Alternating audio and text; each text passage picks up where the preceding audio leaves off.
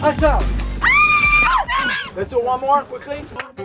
Here we are in the north of Israel, in the first day of shooting of season three. It's over, guys. Don't set that off. You haven't won. I'm not trying to blast First day on set, we jumped right into the action. Go ahead. I'd rather take the win. I couldn't have asked for a better scene to start the season with.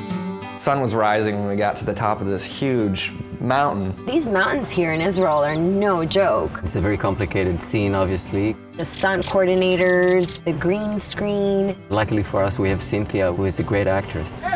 She makes it look real. Help! Seeing how that's all gonna come together, it's so magical.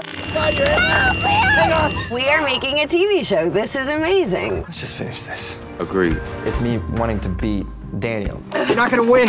Hayley's with me. I already did. He swooped in and he's taken the, the fair lady. I need something. I need this win. It's over, guys. No, it's not. Alex and Max are hurt. We all decided to call for help. You haven't won. I'm not trying to win. Come on. Sophie always wants to win. I definitely understand why he didn't buy any of it. Sophie is falling off the cliff and I have to like jumping down, grabbing her arm. I was just imagining me being in that situation and it's just utter panic. Hang on. I can't. It's that moment of, I'm going to die. I mean, we're not actually off the cliff, but we're on this ledge. I'm just sitting there and I'm just like sweating in the heat. This is the last thing I'm gonna look at, Leo. No. Hang on.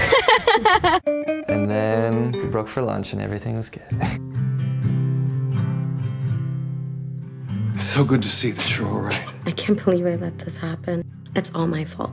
Sophie falling off of that cliff is an iconic scene in the Chachamama series. די, יפתח, המשימה הזאת נגמרה.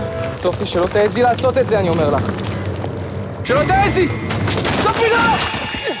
As someone who wrote uh, many cliffhangers in different shows, I always had a dream to write a cliffhanger that's actually literally cliffhanger. As soon as I got the part, Giora had mentioned to me that I was going to be falling off the cliff. So I've been excited for this day since before we started shooting the series. Sophie was chosen to be the one who falls because it drives several stories actually. We actually found out Lewis had Coach Davis mess with us in the woods. So you all lied about what happened? Do you want my father to lose his job over this stupid hike? This is the catalyst for all of the change in the season. If Lewis has taught me anything, it's that a great leader should always speak their mind.